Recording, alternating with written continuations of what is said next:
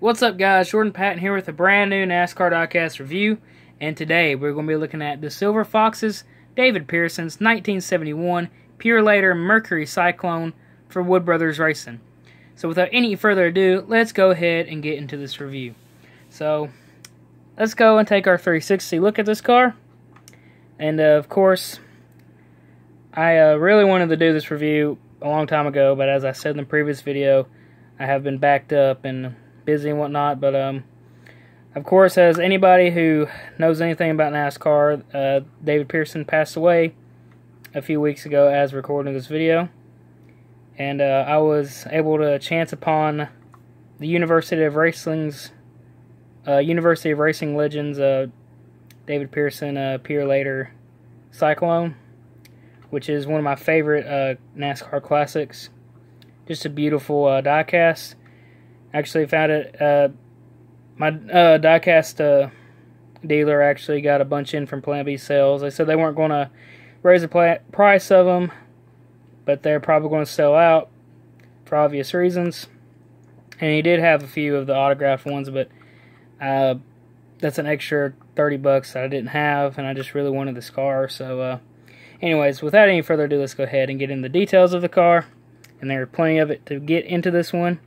So as we look at the front, we have uh, just the number 21 on the headlights engraved in black. And of course we have our actual mesh grille right there.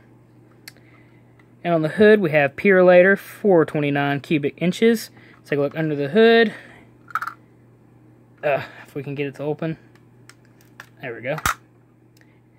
And uh, can't really see unfortunately, which is not good. Um, but there is the best I can do with the detail of the engine. And of course we have uh, our wires and plugs. Just, just uh, it doesn't really do uh, justice, unfortunately. But my uh, background light, unfortunately, uh, blew out, and uh, my parents got rid of it. So, yeah, there's that. And of course, on the roof we have the famous 21. 21 on deck lid, and if you can notice, they actually use like the uh, reflective uh, decaling or uh, striping.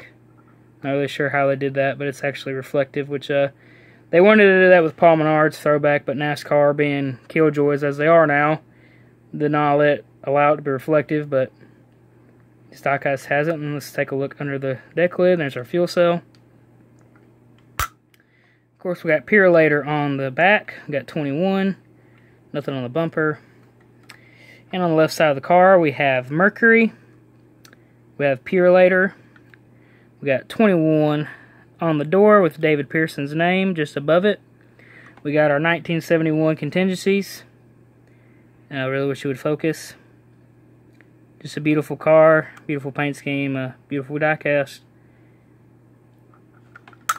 Take a look at the right side of the car which is the same as the left. I believe he won the Daytona 500 this year in this car. Or maybe not the Daytona 500. I think Richard Petty won the Daytona 500. He did win the Daytona 500 in this car, just not this exact model. Um, pretty sure. Correct me if I'm wrong, and I'm sure people will. There's the engine detail underneath the car. Got a bunch of licensing stuff on the bottom, but uh, so it doesn't hurt it for me. And if you can just get a little bit of a the detail inside there, there's no window net, of course. But yeah, there's the car itself. So let's take a quick look at the box. A typical University of Racing Legends box, which is uh, a lot more interesting than Lionel's uh, regular rental boxes. Of course, we got a nice picture of the car itself right here. And I've got uh, David Pearson's number 21, 71 Mercury Cyclone. Got Wood Brothers, 10th in the University of Racing Legends series. Got David Pearson's signature right there, University of Legends. Race, uh, Universe, Race, University of Racing Legends. We got University of Racing Legends again. Wood Brothers 21. We have a little bit of a biography of David Pearson.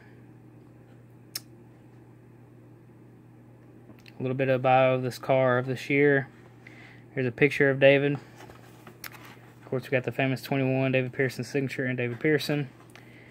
And uh, we have some more black and white photos of the car, some more information, and our legal stuff on the bottom. So, uh, yeah. There's that. And here's one more look at the car. And uh, I recommend if you can find this one to pick it up because it's um, one of the more iconic cars in NASCAR history. And um, with David Pearson being gone, I'm sure it's going to slowly, probably not immediately, be hard to find, but uh, slowly start raising in value and being hard to find, including his uh, number 17 Torino, which I'd like to get that one as well. But uh, we'll see. Anyways, that pretty much does it for this video. Uh, rest in peace, David Pearson. uh, one of the top five, arguably top five, definitely top ten drivers of uh, all time in NASCAR.